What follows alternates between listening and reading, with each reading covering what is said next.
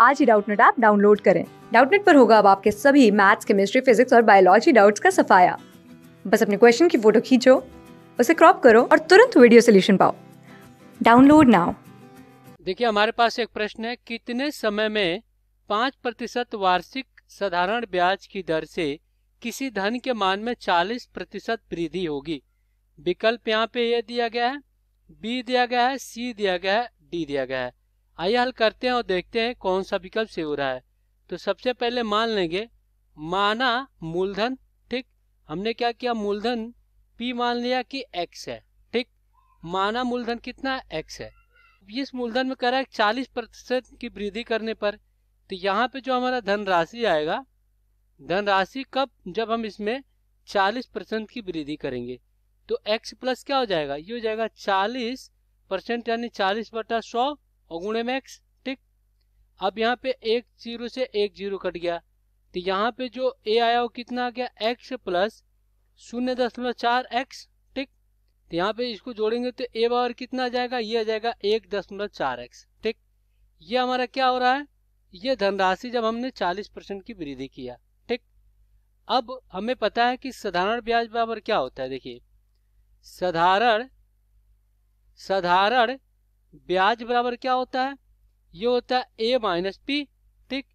तो यहाँ से एस आई क्या हो जाएगा? ए कितना है? एक दशमलव चार एक्स और माइनस पी कितना है एक्स ठीक?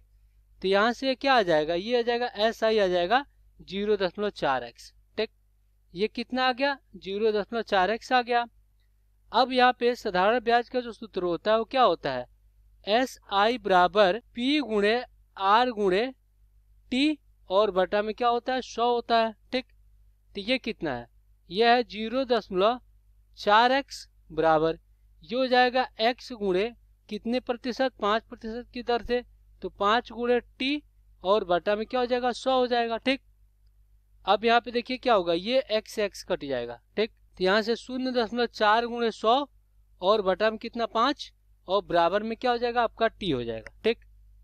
तो यहाँ से आपका क्या आ जाएगा? देखिए यहाँ से बीस पच्चीस सौ, ठीक?